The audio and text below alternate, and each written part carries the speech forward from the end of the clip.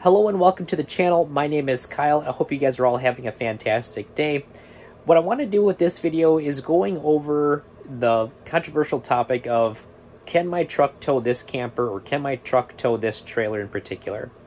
Now, what I want to do with this video is kind of go over how I derive if it is safe or if it's feasible for a certain truck or vehicle to tow a certain type of trailer or a camper.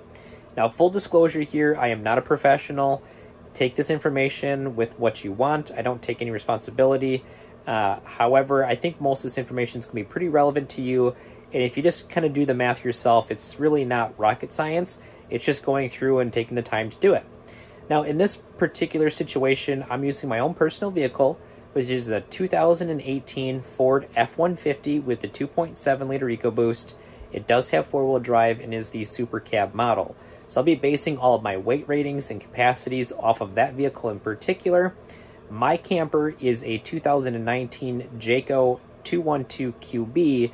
I'll also be taking all that information from my trailer in particular and showing those numbers to make sure that we're all safe and sound uh, when we're towing.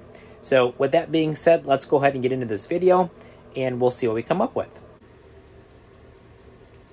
Okay, let's go ahead and get into the meat and potatoes of this video. So to reiterate again, I have a 2018 F-150 and a 2019 Jayco camper. What I did was I got the payload and the gross vehicle weight rating directly off the sticker on the inside of my door jamb on the driver's door. Okay, get that right off the truck or your vehicle. The gross combined weight rating and the max towing, you will have to go to the manufacturer's website to get those numbers. Now, the reason why is because, for one, the gross combined weight rating, that'll be important later on in the video, and I'll explain what that is.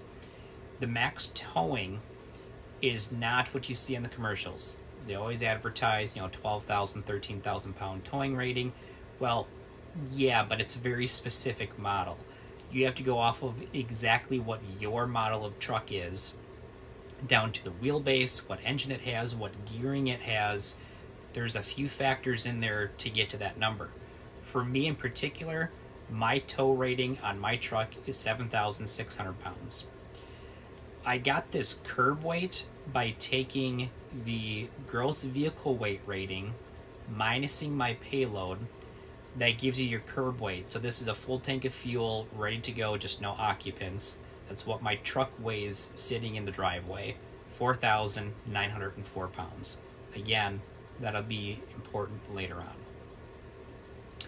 I did the same thing on my trailer. So on my camper, I found out what the hitch weight was. There's a little yellow sticker on the side of every camper. Uh, in my particular situation here, it's 460 pounds. It also gives me the dry weight, which is 4,340 pounds what I did was I ended up finding what the ratio of weight to hitch weight when it came off the factory floor, okay? So that gave me it's 10.6% of the weight of the trailer gets transferred onto the hitch. That's going to be important to know later on again. The cargo capacity of my trailer is 1,160 pounds and the gross vehicle weight rating of my camper is 5,500 pounds. Now, that's a lot of numbers, but I tell you what, if you have the numbers in front of you, going through and doing the math makes this very, very, very easy and simple. Okay? Now, the first thing that you're want to figure out here is what your camper will actually weigh when you go camping knowing your dry weight does you absolutely no good other than driving it from the dealer's lot to your driveway. Because the minute you start putting stuff in there, obviously that number is going to start increasing. So, that being said, what I did is I actually went into my camper, it's where I'm shooting this video from, and I found out exactly how much weight everything is inside of my camper to the best of my ability, okay? So I know that a full tank of fresh water, if I were to fill it up at home and drive to the campsite, it's 399 pounds. There's a sticker on the outside of the camper as well as on the inside of my door that tells me that information. Again, it's pretty easy to do. You take your freshwater capacity tank, Water, I believe, is eight pounds a gallon. So you take that, you can find that information out yourself, or on the sticker from the factory, it tells you that information too. In food, I kind of looked at this as a holistic, whether it's food that you're eating or, you know, drink. Uh, we figure we bring about 40 pounds worth of consumables with us uh, for like a weekend camping trip. Do we go through it all? No, we always overpack, but it's good to err on the side of caution. Uh, but that's about what we bring. Clothing's about the same 40 pounds between my fiance and I. Uh, and miscellaneous cargo. This is one where you can really get kind of lost in the weeds.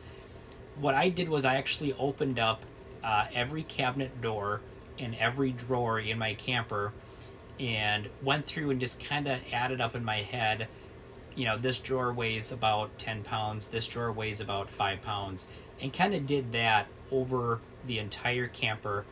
Don't forget to add in TVs if you've added TVs into your camper, um, you know, that kind of stuff. But for me in particular, in, in my situation, it's about 260 pounds worth of items in the camper, and I gave us a, a buffer of about 40 pounds if I didn't estimate correctly on the weight. So, taking that, I added it all up. It's 779 pounds that I have of items within my camper. What I did then was I took the dry weight, which is from the factory, so they know exactly how much it weighs, and I added that to the uh, to the total additions.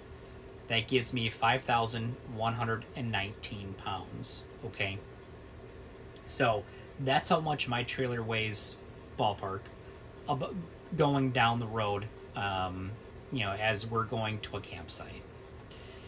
Now, next thing that we have to do is find out our truck's cargo deductions. So this is going to be going against your payload number, and this is where a lot of people end up getting caught because they're going over their payload, but they're not necessarily going over their tow rating. Okay, so what you find out is in a lot of these modern trucks that have higher tow ratings, say you know ten thousand pounds, twelve thousand pounds, um, that's specific to their vehicle, but their payload is only you know 1600 pounds like my truck or or less. I mean there's quite a few trucks that have less uh, payload capacity. Um, you find that you run out of payload before you get to the max towing rating of your vehicle. This is why this information is important. So i've added a couple things to my to my truck. Uh, i've added a brush guard that's 133 pounds miscellaneous cargo so that's going to be everything that's in your glove box in the bed of your truck in the back seats uh, whatever you've added to your vehicle that's above and beyond that's not you know from factory i have figured i have about additional 100 pounds worth of worth of cargo in there between everything that i have. Uh, you have to add in your weight distribution hitch that's again payload onto the onto the vehicle. Mine weighs 100 pounds. The passengers so for me in particular it's just my fiance and i Together we weigh about 315 pounds. And then you take your camper's hitch weight. So this is where I wanted to do that, that percentage, right? So I took the loaded weight of my camper, 5,119 pounds, times that by 10.6%. That gives me 443, I'm sorry, 543 pounds. Okay. So my total deductions on the truck here is going to be 1,000 191 pounds. I take that minus my payload, right? So you take your payload, I'm sorry, other way around. You take your payload, your 1596, minus your total deductions, 1,191 pounds, and that will tell you if you are within your payload rating of your vehicle. So this is kind of where my first question is, am I okay with payload? So you take your truck's payload minus your total deductions, yes, in my situation, it's yes, I have 405 pounds left over. Okay. This gives me an idea as far as if I want to bring, you know, some family members or friends with my in my truck. I know how much more weight I can put in before I'm running the risk of going over on weight. Okay. The next question is, is Am I within the gross combined weight rating on the truck with the camper loaded? This one is going to be important because insurance if you get into heaven forbid you get into an accident and they find out that you either over payload or you're over your gross vehicle weight, whatever the case is, if you are overloaded, your insurance may not cover your claim. This is why this stuff is really important. So the way that you figure this out is you take the you add the total additional weight to your car your camper's cargo to its dry weight. I already did that. That's this number right here. 5,119 pounds. You then minus that number from your truck's gross combined weight rating. So I take my 12,800 pounds minus 5,119 pounds and you subtract your truck's loaded weight. Loaded weight. So you have to add your curb weight plus your your payload here and you take that number off of the running total between your gross combined weight rating and your loaded trailer. So if I'm going to do the math real quick here with you on camera, I look at, so my trailer is 5,119 pounds uh, plus 4,904 pounds plus my cargo 1,191 pounds. That gives me 11,214 pounds total. That number is less than my gross vehicle combined weight rating. So in this, you know, are you within your limits of your truck? In my case, yes. I have 1,586 pounds left over, so I am well within the limits of my truck. Now, the last question here is not something that everyone asks themselves, but I do just to err more on the side of caution. I'm one of those types of people that I don't like to max out my vehicles if I don't have to. It's one thing to do it every once in a while, but if you're going to be going to camping sites that are, you know, several hours away on a regular basis, or if you're going cross country, I like to stay within that 80% towing rule. Um, so for me in particular, you know, am I exceeding 80% of my truck's towing capacity? Basically, you take 80% of your truck's towing capacity and you compare that number against the loaded weight of your trailer. So in my case, am I exceeding 80%? No, I am not. 80% of my truck's towing capacity is 6,080 pounds, which is more than my camper's weight of 5,119 pounds. Okay, so those are all the numbers and really what I wanted to get at with this video. Um, when you start looking at, you know, answering that question, you know, can my truck tow this camper? Really, you need to sit down and do some math. And I know a lot of people out there, they already have the truck and they're looking at getting their first camper. Uh, and they're, it, it's hard to say, you know, whether or not what that weight of that trailer is going to actually be because they don't have it yet. You know, and that's, and that's understandable.